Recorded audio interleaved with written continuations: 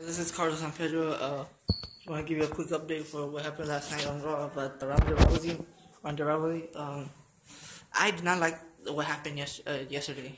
Um, wasn't cool. Wasn't fun. It was just a conversation.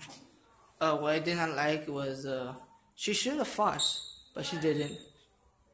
The Stephanie McMahon and Triple H wanted to do a uh, apology.